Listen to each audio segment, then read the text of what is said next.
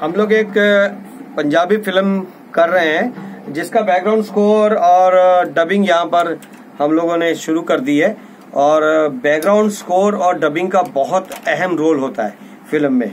जैसे कि हम लोग मेकिंग करते हैं बाकी चीज़ों का तो इसका भी बहुत पोस्ट प्रोडक्शन में ये, इसका बहुत अहम रोल है।